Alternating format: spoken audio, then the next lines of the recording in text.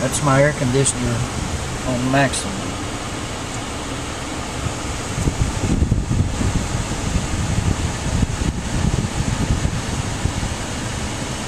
When it gets really hot, it takes about 20 minutes to cool down.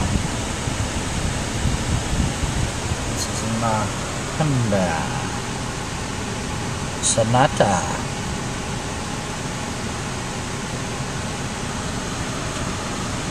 Mileage, the air conditioner, and the seats wearing out.